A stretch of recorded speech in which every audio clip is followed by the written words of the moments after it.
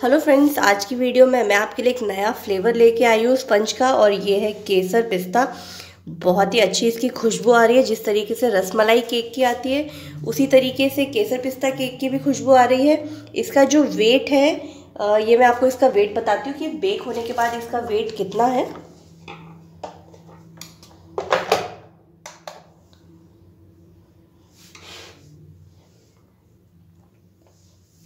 इसका जो वेट आया है ये है four eighty eighty sorry four eighty eight gram.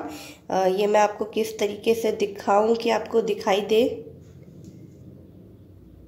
ये देखिए।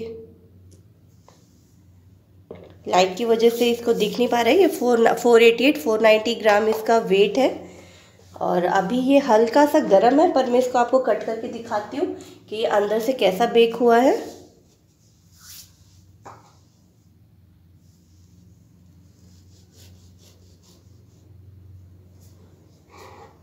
यहाँ पे मैं जो भी इंग्रेडिएंट लेने वाली हूँ मैं आपको मेजर के साथ बताऊँगी। हमेशा बाउल रखने के बाद इसको ऑन करें वरना बाउल का वेट भी मेजर हो जाएगा। मैदा मैं लेने वाली हूँ one cup plus one fourth cup और इसका जो मेज़रमेंट है ये है वन सिक्सटी थ्री ग्राम आ, ये आपको इस हो सकता है आपको लाइट की वजह से ये ना दिख रहा हो। तो इसका वेट जो है ये वन सिक्सटी थ्री ग्राम है। नेक्स्ट इसमें मैं डाल रही हूँ हाफ़ कप पाउडर शुगर और इसका जो मेज़रमेंट है ये है एटी एट ग्राम। आप एटी एट नाइन्टी कर सकते हैं अपने टेस्ट के अकॉर्डिंग वन टीएसपी मैंने फुल इसमें भर के लिया है। बेकिंग पाउडर जिसका मेज़रमेंट आया है पाँच ग्राम। Half T S P half teaspoon इसमें मैंने डाला है baking soda.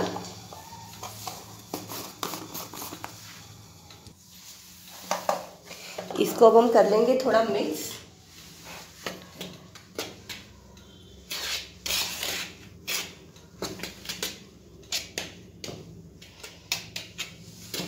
Dry ingredient sorry dry ingredient एक बाउल में मिक्स करने के बाद, यहाँ पे अब हम मेजर करेंगे वेट इंग्रेडिएंट यहाँ पे मैंने थ्री फोर्थ कप मिल्क लिया है, जो आपका वन कप है, उसका हाफ़ और थोड़ा सा और ऊपर, ये हो जाएगा थ्री फोर्थ और या फिर अगर आप अलग कप से नापना चाहते हैं तो वन फोर्थ कप आप तीन बार डालें। तो यहाँ मैंने हल्का सा गुनगुना दूध लिया है, और इसमें मैं मिलाने वाली हूँ। One and half T S P vinegar,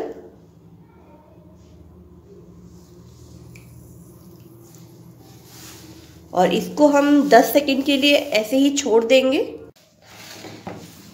इस वेट इंग्रेडिएंट में सॉरी ड्राई इंग्रेडिएंट में मैं मिलाने वाली हूँ one fourth cup room temperature का कंडेंस मिल्क अगर आपने कंडेंस मिल्क फ्रिज में रखा हो तो ये केक बनाने से एक दो घंटे पहले उसको फ्रिज से बाहर निकाल लें।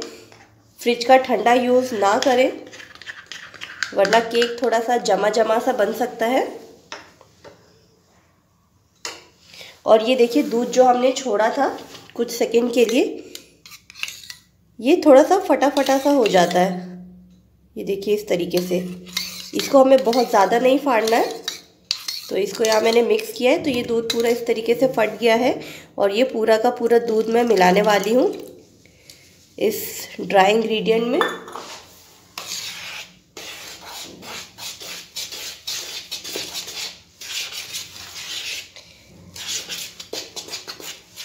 इसको पहले चम्मच से अच्छे से मिक्स कर ले और इसको अब मैं इलेक्ट्रिक बीटर से या फिर आप हैंड विस्क का यूज़ भी कर सकते हैं, उससे भी इसको मिक्स कर सकते हैं।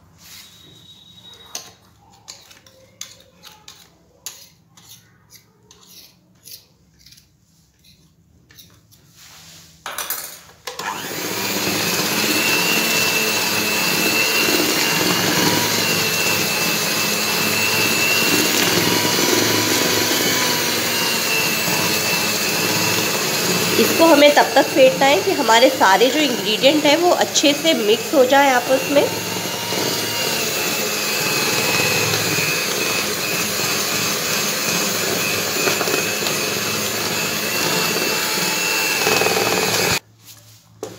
तो ये देखिए, हमारा जो ये बैटर है, ये मिक्स हो चुका है। नेक्स्ट इसमें मैं ऐड करूँगी ऑयल ऑयल हमेशा कोशिश करें केक में लास्ट में मिक्स करें। वरना ऑयल जो है वो केक को फूलने से रोकता है। अगर हम उसको पहले ही अगर मिक्स कर लेंगे तो। तो इसमें मैं वन फोर्थ कप मिलाने वाली हूँ ऑयल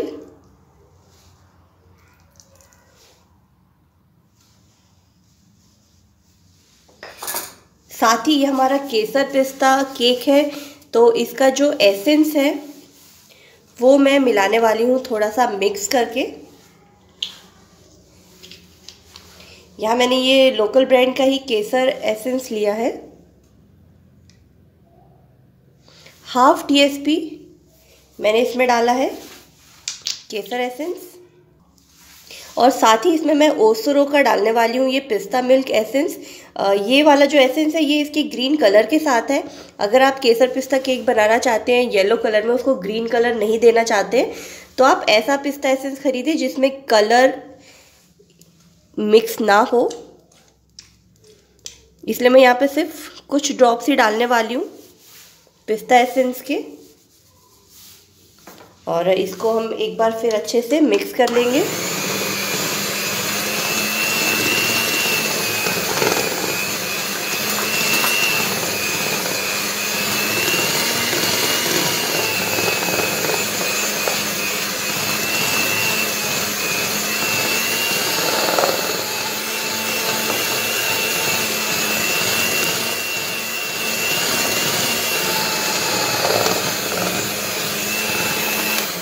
यहाँ पर आप देख सकते हैं, जो केक का कलर है वो लाइट ग्रीन आया है। अगर आपको ये चलता है कि आप लाइट ग्रीन में इसका बनाएँ, जो स्पंज है तो आप रहने दें या फिर आप इसको थोड़ा सा येलोइश कलर देना चाहते हैं तो इसमें हल्का सा येलो कलर मिक्स कर दें। मैं इसमें कुछ ड्रॉप्स येलो कलर के डाल रही हूँ। आप इसमें ऐसा भी कर सकते हैं कि अगर आप येलो स्पंज बनाएँ सिर्फ़ केसर एसेंस के साथ तो फिलिंग में आप ग्रीन कलर दे सकते हैं उसका जो फिलिंग में पिस्ता का एसेंस भी ऐड कर सकते हैं, या फिर आप स्पंज ग्रीन बनाएँ और जब इसकी फिलिंग करें क्रीम के साथ तो आप उसमें केसर और उसका येलो कलर डाल सकते हैं। तो ये देखिए, अब इसका कलर थोड़ा अच्छा आ रहा है, थोड़ा येलोइश में।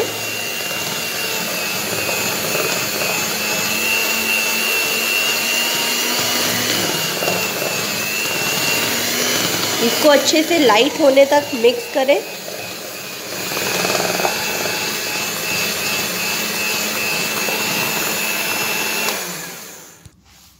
तो यहाँ पे हमारा जो बैटर है वो बनके रेडी है। इसको मैं डालूँगी छः इंच के टिन में।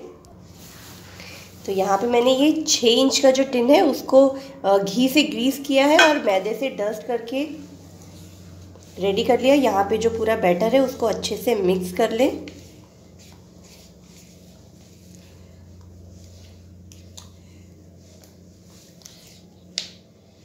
कभी भी अपने केक के बैटर को लेफ़्ट राइट ना फेंटें।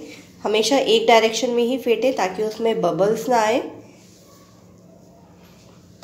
और इसको अब हम डालेंगे हमारे केक टिन में।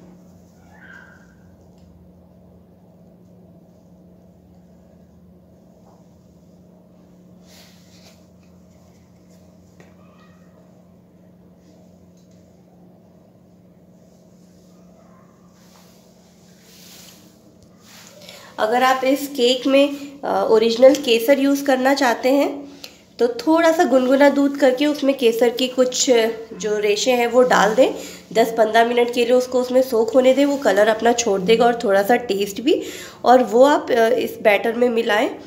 जब आप दूध फाड़ते हैं, उस दूध में ना मिलाएँ आप अपना केसर। इसको मैं यहाँ टैप करूँगी। हमेशा अपने टिन को नीचे कुछ मैट या टॉवल बिछा के टैप करें, ताकि जो आपका टिन है उसमें डेंट ना पड़े। और जब तक मैं ये बैटर रेडी कर रही थी ओवन को मैंने 180 डिग्री पे 15 मिनट के लिए प्री हीट होने के लिए रखा था। नीचे की कॉइल ऑन है, ऊपर की कॉइल ऑन नहीं है। ऊपर की कॉयल मैंने इसलिए ऑन नहीं की है कि जब हम ये केक बेक करेंगे तो ऊपर से मुझे डोम शेप या क्रैक नहीं चाहिए। फ्लैट सरफेस में हमारा केक बेक हो, इसलिए हम इसको लोअर रैक में ही सॉरी जो लोअर कॉयल है, उसमें बेक करेंगे और केक के टिन को मैं डालूँगी मिडल रैक में। मेरे ओवन का साइज़ बड़ा है, इसलिए इसको हो सकता है थर्टी से थर्टी फाइव मिनट लग जाए बेक होने में। अगर जिनका ओवन ट्वेंटी एट लीटर तक का है, हो सकता है उनका केक ट्वेंटी फाइव मिनट में भी बेक हो जाए तो आप ट्वेंटी या ट्वेंटी फाइव मिनट के बाद अपने केक पे एक बार नज़र डालें टूथपिक डाल के चेक कर लें कि आपका केक बेक हो गया है या नहीं। मैं ये आपको दिखाती हूँ केक बेक हो जाने के बाद। तो ये देखिए केक का जो स्पंज बेक हुआ है, कितनी अच्छी उसकी जाली आई है। ये देख सकते हैं आप इसकी सॉफ्टनेस मैं इसको दबा रही हूँ, ये वापस अपने शेप में आ जा रहा है। इसको 35 से 40 मिनट लगे हैं बेक होने में। तो अगर आपको ये रेसिपी पसंद आई हो तो इसको एक बार ज़रूर ट्राई करें। Thank you for watching